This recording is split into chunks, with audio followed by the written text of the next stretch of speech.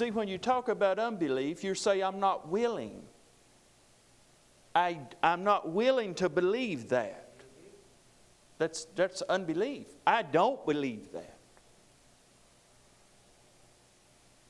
Doubt is another thing. It'll still hinder you just as much, but not hardly as bad as unbelief. All you have to do with doubt is just find out what the truth is and just say, Well, I believe the truth. I didn't know before, but now I do. But when you're an unbeliever, you say, Well, I don't believe that. And you can't have it. And all those things that God did. I mean, you think about them. Parting that Red Sea, they walked over on dry land. They got out there and God fed them manna. They got to complaining about that, and God fed them quail. Quail come in by the thousands, hundreds of thousands, I guess, to feed all that people. Water came out of a rock. Many, many happenings. But you know what? They wouldn't believe. And the Bible says in, in Psalms that they turned back and limited the Holy One. They limited him. How did they limit him, Brother Jonathan? By their unbelief. That's how you limit God. God is limited to, to what you believe. That's the only thing that limits God. He Himself, apart from our believing and, and receiving, is He is awesome. There is nothing impossible with God. And there is nothing impossible to them that believe. See? Now, most of people, most people have practiced not believing.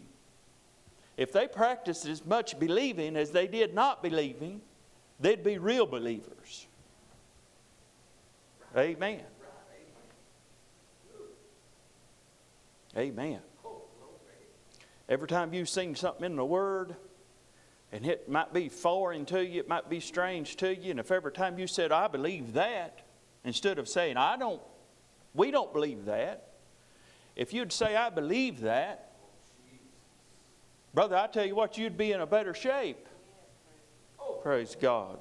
You'd be in a better shape. Mm. So, all things are possible to him that believes. And it goes on up to where he told Moses, he said, Well, you're not going to enter in either because he, done, he did things he shouldn't have done. He said, You're not going to enter in. And these people, I think it was from 20 years old and up, are going to die in this wilderness. But not those, because they didn't rebel against me. Are you hearing? And it come time for Joshua to take over. And those people had died. And he told Joshua, he said, Joshua, you meditate in my word day and night.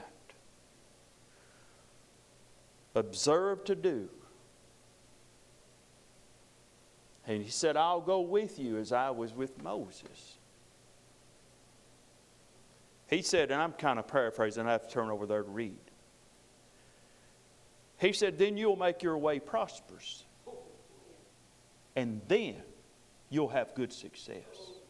Now, we find there that that's the will of God for Joshua and all those Israelites.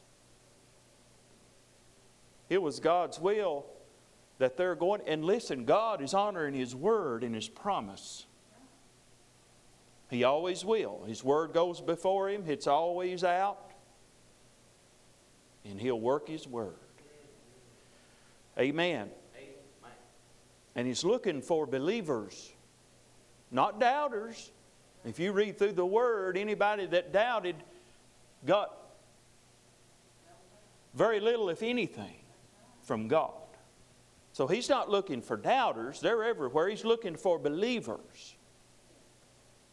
Amen. Amen.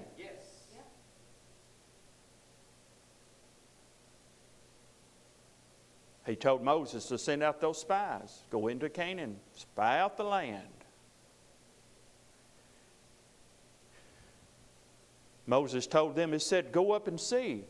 See what kind of land it is. See if it's good.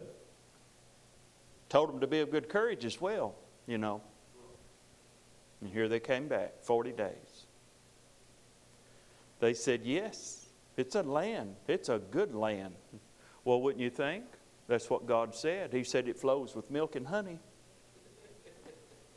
The promised land. And here they came. And they said, Yes, it's a good land. He, they said, But, but, but there's giants in the land. Well, God knew there were giants in the land. He knew it.